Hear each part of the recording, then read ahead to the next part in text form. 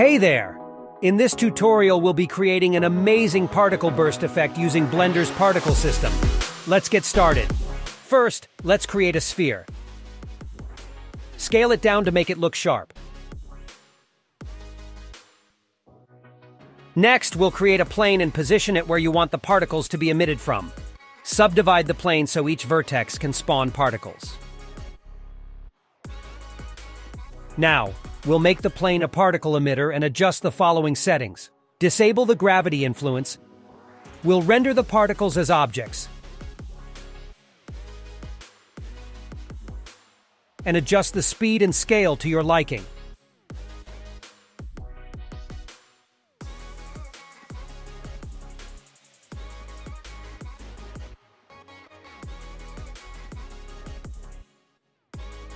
Now, we'll add an emissive material to the sphere to make it glow.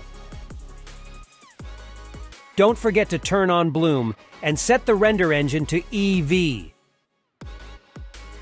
If your particles are appearing sideways, simply go into edit mode and rotate the plane 90 degrees to pivot it around its center.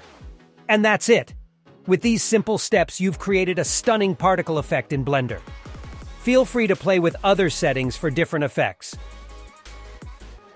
I hope you enjoyed this tutorial and learned something new. Let's see what amazing things you can create with Blender.